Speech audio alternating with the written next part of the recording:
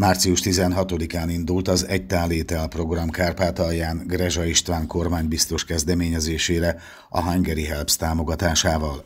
Elsőként a Makkos Jánosi Helikon, majd a Munkácsi Monarchia, a mai nappal pedig a szürtei Itália Snacken Pizza is csatlakozott a kezdeményezéshez, mondta el tájékoztatójában az Egy Tálétel program kárpátaljai koordinátora. Kudlatyák Krisztina hozzátette, mindegyik helyszínen napi 300 adag melegételt készítenek, így naponta 900 adagot osztanak ki a Kárpátaljára érkező, vagy az ide áttelepült menekülteknek és a vidékünkön lakó rászorulóknak.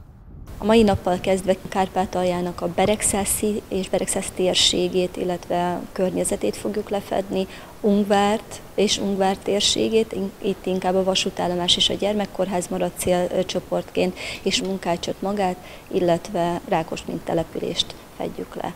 A meglévő adagokból ma 120-at még az ungvári állomásra juttatunk ki, eh, pluszban a 300, 300-at kiegészítve, hiszen eh, Ungvára ma egy gyerekcsoport érkezik 120 eh, főből álló, és ezeknek a megetetését tulajdonképpen élelmezését ma felvállaljuk.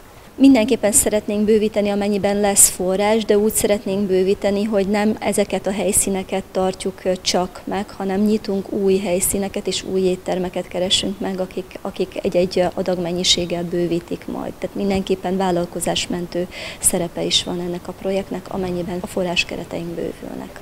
Jelen pillanatban azon dolgozunk, hogy holnap el tudjon indulni Viskről, a Sajáni víztől 14 ezer palack víz Lemberg felé, Nagyjából holnap dél környékén érkezik meg ez a Lembergi kormányzósághoz, és az ő igényeik miatt tulajdonképpen szükségük van most ivóvízre. 24 raklapnyi ivóvizet küldünk ki.